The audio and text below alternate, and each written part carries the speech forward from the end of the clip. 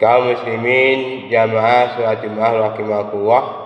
Pada kesempatan di siang hari ini kita bersama-sama memanjatkan puji syukur kita ke Allah Subhanahu wa taala yang telah berikan rahmat dan nikmatnya kepada kita semua.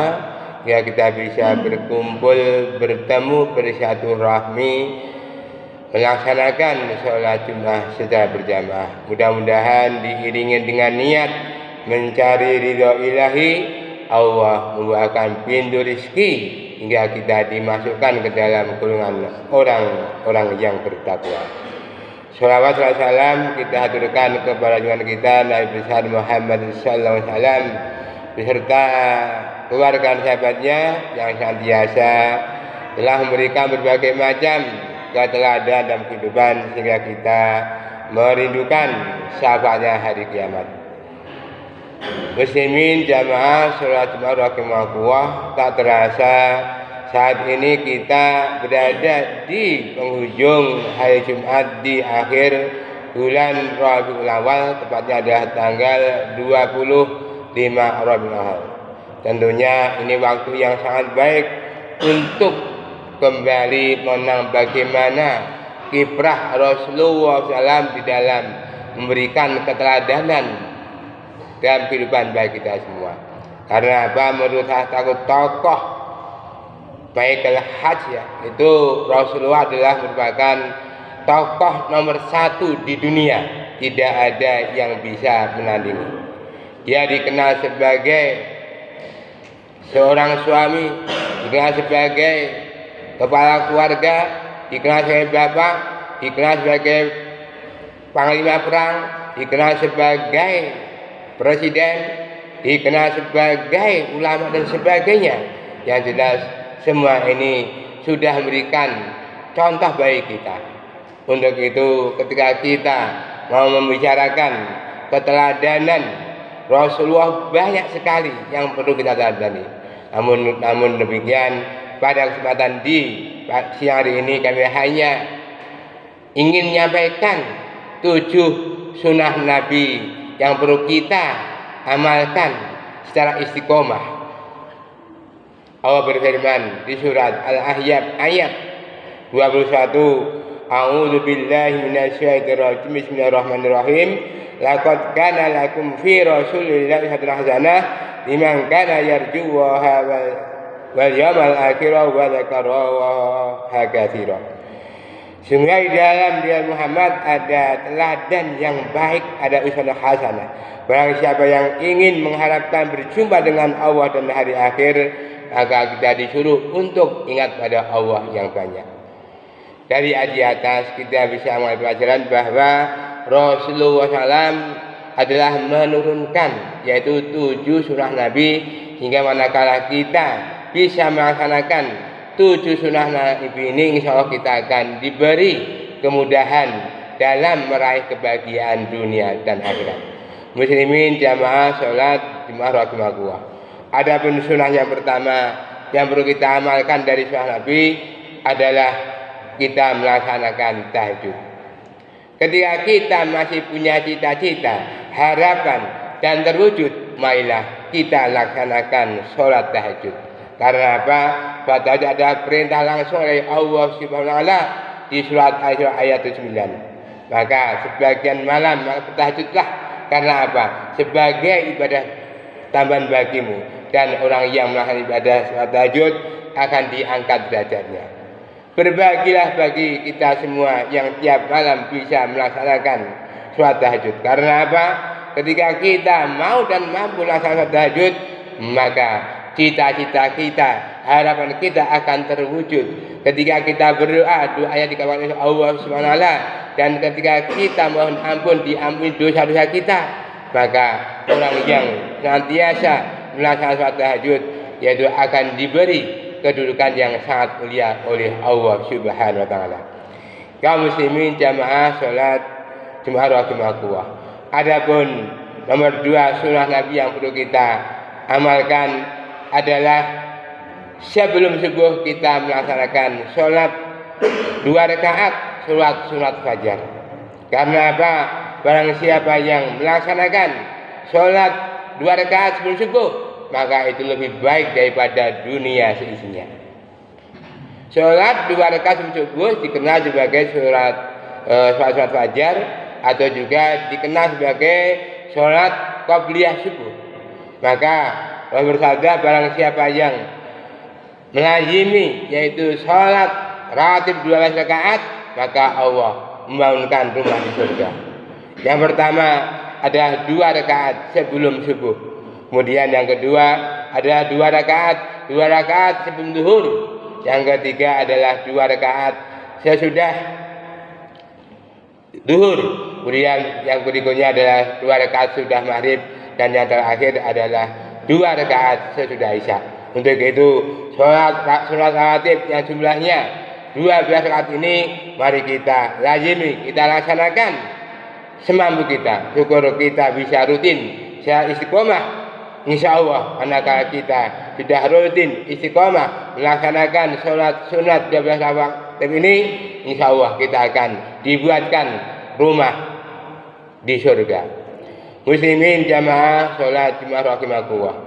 Adapun yang ketiga surah Nabi yang perlu kita amalkan setelah istiqomah adalah sehabis sholat subuh kita membaca Al-Quran. Kita tahu betapa banyaknya pahala ketika kita membaca Al-Quran. Karena apa? ketika kita membaca Al-Quran satu huruf satu kebaikan maka berapa jumlah huruf di dalam Al-Quran maka menurut Imam Syafi'i jumlah huruf Al-Quran adalah satu juta dua puluh tujuh ribu. Untuk itu hukumnya adalah makruh manakala kita sebagai orang muslim sudah bisa membaca Al-Quran diberi waktu 40 hari belum bisa mengatakan. Untuk itu mari kita ajak diri kita keluarga kita untuk apa?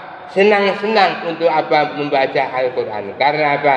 Al-Quran adalah sebagai pedoman Islam, umat Islam dan Al-Quran akan menjawab semua masalah yang dihadapi oleh manusia. Banyak orang yang mengalami masalah tidak bisa terpecahkan. Karena apa? Jauh dari Al-Quran. Jadi ketika kita di dalam hidup ini menjadikan Al-Quran sebagai pedoman dan kita letakkan di depan kita insya Allah Al-Quran akan menjawab permasalahan yang dihadapi oleh manusia. Dan manakah kita hidup ini meletakkan Al-Quran di belakang kita, maka banyak sekali masalah yang datangnya bertubi-tubi dan tidak bisa dipecahkan. Karena apa? Jauh dari Al-Quran. Dan ketika kita membaca Al-Quran, maka orang yang mendengarkan pun juga mendapat pahala yang sama. Maka ketika Al-Quran dibacakan, dengarkan dan perhatikan, niscaya kamu akan mendapat rahmat. Wa idza Qur'an fasami'u lahu wa anhidu la'allakum turhamun. Dan jika dibacakan Al-Qur'an, maka dengarkan dan perhatikan niscaya kamu akan mendapat rahmat. Artinya apa? Orang yang membaca Al-Qur'an dan orang yang mendengarkan semuanya dapat pahala. Begitu juga Al-Quran akan memberikan syafaat pada orang yang membacanya. Maka tiada hari tanpa membaca Al-Quran. Muslimin jamaah sholat jemaah rahimakumullah. Adapun yang keempat surah yang perlu kita amalkan adalah kita disuruh untuk senantiasa sedekah. Kita tahu bahwa sedekah adalah ibadah. Ketika kita sedekah jangan dianggap susah. Kalau kita niati ibadah, insya Allah kita akan hidup bahagia menuju jannah.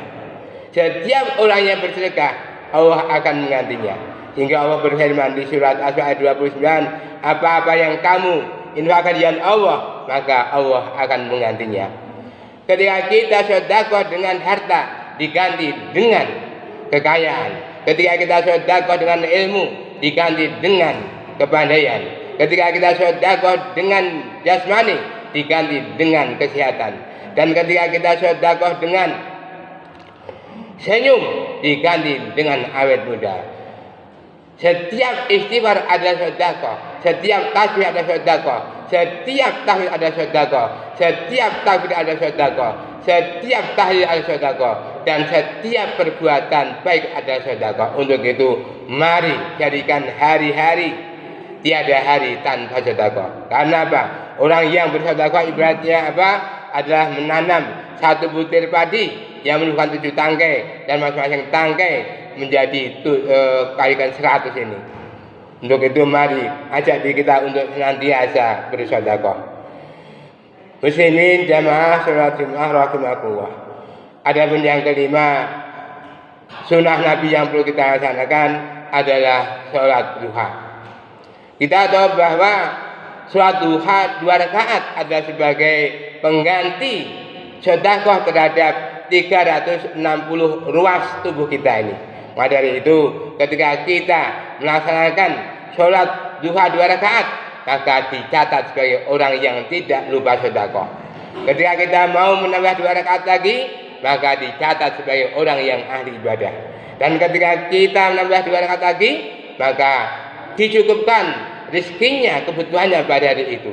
Karena apa? Di dalam satu di doa di doa doa Allahumma in kana rizki samai wa anjilhu wa in fil ardi wahriju wa in kana musiran fayasrihu wa in haraman fadarihu wa in kana ya Allah jika itu datanya dari langit maka turunkanlah. Ya Allah jika itu datanya dari bumi maka keluarkanlah. Ya Allah jika itu ada sukar maka mudahkanlah. Ya Allah jika itu kotor maka bersihkanlah. Ya Allah jika itu adalah jauh maka dekatkanlah. Begitu juga manakah kita? Mau menambah dua rakaat lagi sehingga jumlahnya delapan rakaat, saya Allah akan mencatatnya sebagai calon penghuni surga. Untuk itu mari ajak diri kita kalau kita untuk senantiasa siapa melaksanakan sholat duha sebagai pengganti sedekah terhadap tubuh kita terhadap 360 ruas di dalam tubuh kita. Sehingga sholat duha rakaat walaupun dikerjakan hanya dua rakaat ada sebagai pengganti sedekah muslimin jamaah sholat jemaah rahimakumullah. Adapun yang keenam sunnah Nabi yang perlu kita laksanakan adalah kita disuruh untuk beristighfar. Kita tahu bahwa sebagai manusia biasa tentunya banyak sekali dosa-dosa baik itu disengaja maupun tidak sengaja, sadar atau tidak sadar. Ya sebaik-baik orang yang berdosa adalah bertobat kepada Allah Subhanahu wa taala. Karena apa? Allah Subhanahu wa taala menciptakan surga hanya di bagi orang-orang yang bertakwa. Sehingga ketika kita ingin menjadi orang bertakwa dan ingin masuk surga, maka kita perlu memperbanyak yaitu istighfar. Allah berfirman di surat Ali Imran ayat 133 wa syarimu ila maghfiratin min rabbikum jannah Ngardu sama batu at ungit dan mutakin. Dan berilah kamu kepada ampunan Allah dan surga yang luasnya langit dan bumi yang dibagi orang-orang yang bertakwa.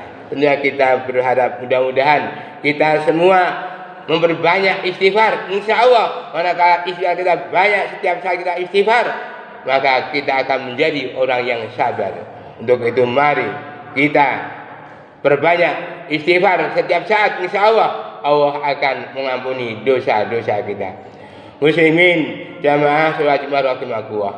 Adapun surah yang ketujuh yang perlu kita amalkan adalah menjaga wudhu. Kita tahu bahwa Allah berfirman di surat Al-Baqarah ayat 222, Inna Allaha yuhibbu tawabina wa yuhibbu Sungguhnya Allah minta orang yang bertobat dan mensucikan diri. Ini adalah turun berkenaan dengan Bilal bin Rabah yaitu ketika beliau masih hidup Rasul ditanya ya Rasulullah itu suara apa? Oh itu adalah suara terumpah Bilal di surga. Terus tanya mengapa terumpah Bilal ada di surga? Karena Bilal ada senantiasa yaitu menjaga wudhu. Pada itu manakala kita ingin masuk surga mari kita jaga wudhu kita Kata kuncinya apa? Ketika kita berada di kamar mandi, apakah BAB, apakah BAK, apakah mandi, kita langsung wudhu. Ketika kita, kita sudah keluar, kemudian batal lagi, mari kita segera wudhu. Insya Allah kita dalam keadaan suci dan Allah benar-benar mencintai orang-orang yang menjaga wudhu. Jamaah, rahimahullah, itulah tujuh surah Nabi yang perlu kita amalkan. Kita pertahankan secara istiqomah. Bagaimana kita mau dan mampu meneladani tujuh ratus ini insya Allah kita akan diberi kemudahan oleh Allah dapat berkumpul bersama Rasulullah di jannah. Allahumma amin. Demikian ini sari khutbah saya mudah-mudahan ada manfaatnya بارك الله لك في القرآن العظيم أعوذ بالله من الشيطان الرجيم. بسم الله الرحمن قل هو الله أحد الله الصمد لم يلد ولم يولد ولم يكن له كفوا أحد.